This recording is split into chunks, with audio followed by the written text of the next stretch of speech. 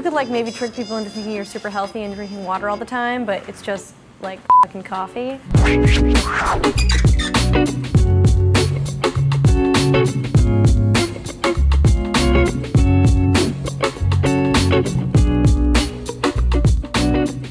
Wow, this literally just looks like a bottle of water. I think if this were a drink you ordered on an airplane, you'd be really happy to get it because it's huge. It looks like alcohol. Oh, look at how British. The date is written the other way. I was like, 1901, this is some future It smells like when I make coffee at home and then leave the pot to sit there. Maybe a little bit like warm tequila. It smells like coffee. Like it smells like espresso beans. Hopefully, it tastes like coffee. It weirdly kind of tastes like vaguely of alcohol to me. Something is wrong. What do you think?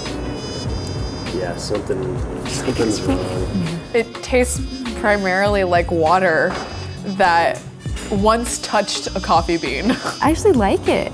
I really do. And I feel more awake. Oh, it's like a little bit nice because I like water so much. But it. but why wouldn't you just drink water?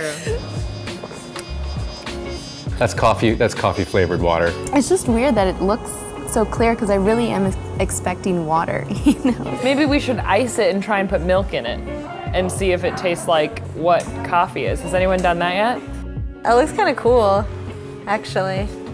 Does not make it taste any different. I'm a person that really likes black coffee without any sugar and stuff. So this to me is like, this is dope. If it works for you, man, go for it. Clear coffee. I don't know. It's not for me. I'm gonna stick with my normal coffee. I do know a lot of people who refuse to drink coffee without a straw because they're worried of staining their teeth. That's probably who it's for, which is stupid. Just live your life, right?